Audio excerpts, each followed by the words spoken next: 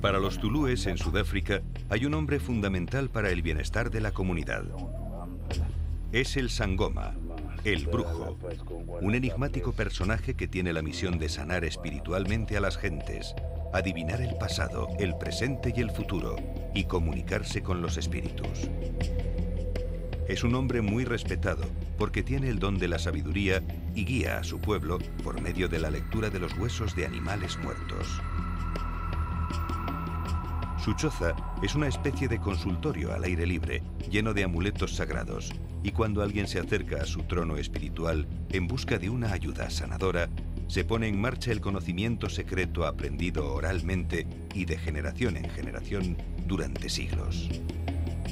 Esta mujer necesita magia para expulsar un espíritu maligno y el hechicero tiene en sus manos la posibilidad de curarla por medio del exorcismo.